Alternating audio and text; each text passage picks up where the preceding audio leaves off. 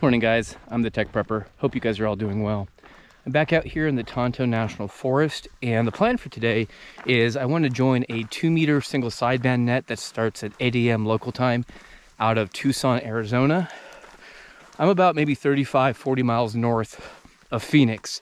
So it's gonna be a good distance and I'll be playing again with the PackTenna Trek Mount and uh, running about 20 watts.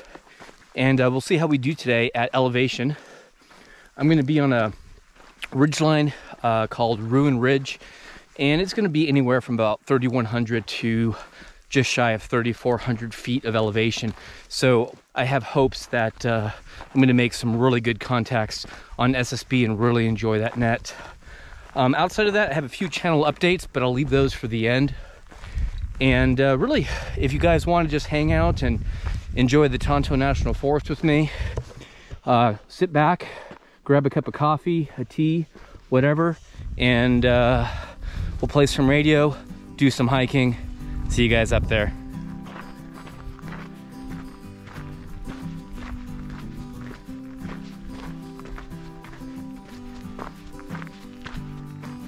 All right, guys, just a kind of a random thought before I hit the, uh, the approach on this peak. All of that um, out there is Tonto National Forest. In fact, I'm very much on the, the southern tip, entered it from the southern tip. And uh, my problem out here in the Sonoran Desert is that I can't carry enough water for more than two days. So part of the plan for myself and hopefully for the channel is my wife and I are looking into getting a one or two donkeys, uh, putting it on the property, getting up to speed on everything involved there and uh, yeah, I would say within the next one to maybe two years, uh, we could quite possibly be doing ham radio adventures deep, deep into Tonto with the donkeys and the tech prepper. Let me know what you guys think. Anybody have a donkey? Any tips would be great. I've got plenty of locals out here that are giving me lots and lots of great advice. So I want to make sure I fully plan that out before committing to it. Apparently they live like 30 years, so it's a really big decision to make. All right, enough talking, up the peak. All right, guys, we made it on summit, and uh, sorry about the wind, but uh, this ridge line is actually pretty cool. And like I said, I activated the peak over on that tippy top over there. And uh, as I was telling you, the house is like directly uh, south of me. And the trek was uh, about three miles. It took uh, about an hour and 35 minutes to get up here and I was not prepared for how steep it was going to be. The funny thing was there's no trail, but uh, it wasn't really bushwhacking. It was just a lot of rock climbing and, and low brush. So that's a bonus. So, and someone set up, I don't know what the heck this is, like some kind of flag post with a pile of rocks. So I'm gonna set up my uh, station for the morning. We're gonna be up here for a couple of hours and I'll give you a station walkthrough before we start. All right, guys, I finally have the station set up. Not a whole lot of room to work on. Uh, first of all, the uh, Eberly Stock FAC Track, still amazing, still my favorite pack. I wish I had this years ago. I set up the, I think it's the Arcturus tarp shelter with the uh, reflective side out. I did bring the uh, uh, solar panels, but uh, the power film 20 watt panels, and I've got it all guyed out, uh, ready to go if I need to add power. I have two uh, 4.5 amp hour Bioenno batteries, so I'm not going to deal with that today. The uh, challenge with doing uh, shelters is that there's not a whole lot of room up here, so I had to be kind of MacGyver the setup here a bit. So as you can see here, uh, the inside is camo. We just made uh, some coffee, have some water. Uh, there's the coffee cup. And then I've got the uh, Yaesu 857D with the TPA pack frame. And uh, we're gonna go ahead and bring this guy on the air.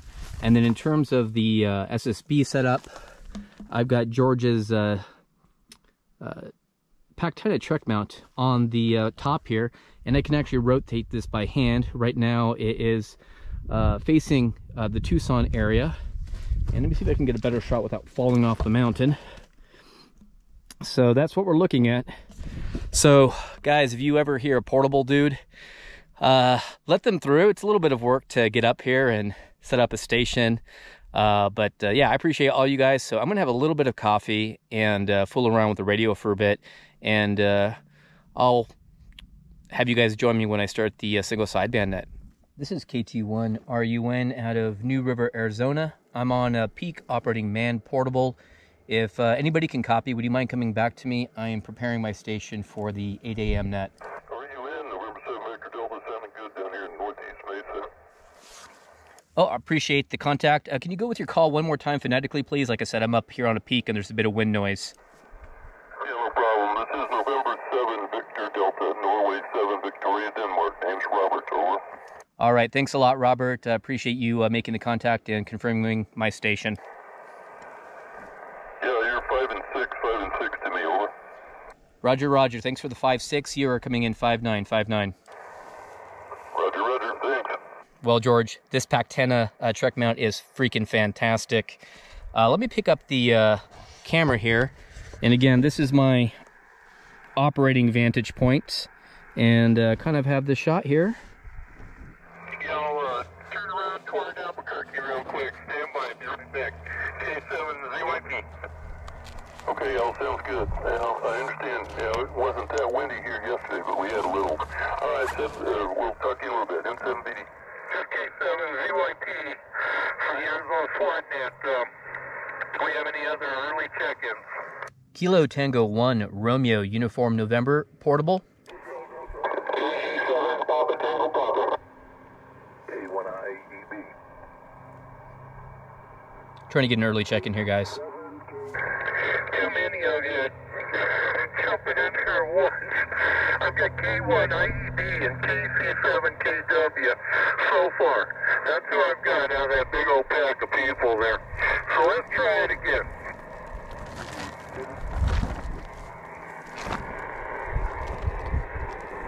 Kilo Tango 1 Romeo Uniform November Mountaintop Portable.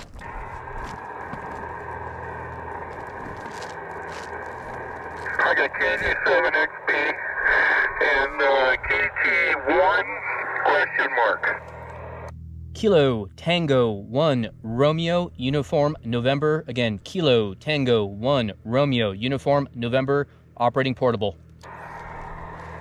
Okay, that was uh, KT1. Are you in?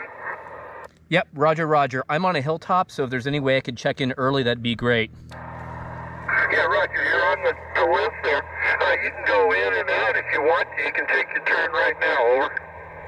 Sounds great. Yeah, this is actually my first uh, time attending this one. I typically attend the uh, Tuesday nights. But uh, just a quick update I'm out here in uh, New River, Arizona. I'm at 3,100 feet on a peak called Ruin Ridge, operating on a 4.5 amp hour battery, running 20 watts on a Yaesu 857D with uh, a uh, small vertically portal or horiz- horizontally polarized dipole sitting under a tarp shelter. Back to you. Yeah, Roger. Okay, well, it's working good. I'm, uh, I'm down here Delta Mike 41, just south of Tucson, and I got a good copy on you. you uh, you're 5 and 9 here at Delta Mike 41. Um, uh, real nice signal. And, um, New River on a dipole. And how many watts you say? Uh, five? Uh, running 20 watts on a Yaesu 857D using a uh, PackTenna Trek mount with two Comet BNC 24 uh, whip antennas. Okay, very good. Well, 20 watts on that. Yeah, that, that's uh, great. All right. Uh, what's your name? Uh, the name here is uh, Gaston, and like I said, I'm new to the group, so uh, thanks for having me. Okay, Gaston. Very good. We've got you, got you on the list here. And um, we'll get your uh, information. Uh, so you're in New River right now. You're, you're mobile or portable. And you're doing mountain topping. Okay. Very good. All right, guys. Well, it was a fun day today. Uh, did a little bit of hiking. Got on uh, the ridge here. It's not quite the activation spot. That's probably another uh, 45 minute trek. Uh, I'm not going to do that today, but it was fun setting up the uh, tarp shelter for the first time this season. Uh, I am going to need it going into the summer months out here in New River, Arizona. The uh, PackTenna Trek mount on 2 meter single sideband was a success. Um, I'm hoping all the video that I recorded uh, comes through. And then I just have two channel updates. First, I am working on a um, API and a web application and a set of tools that will run on a Raspberry Pi for doing field expedient emergency digital communications. I am documenting the entire development process on buymeacupofcoffee.com just because it's easy for me to post. I'm setting all the posts to public so you don't have to support me in any way.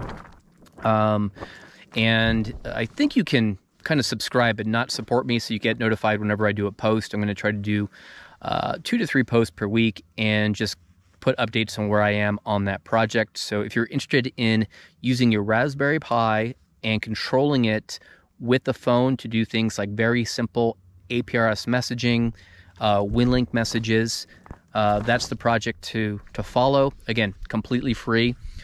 And um, the other thing is on the YouTube ads, there's a whole bunch of stuff that's going on with YouTube changing their terms of service. I don't have all the details.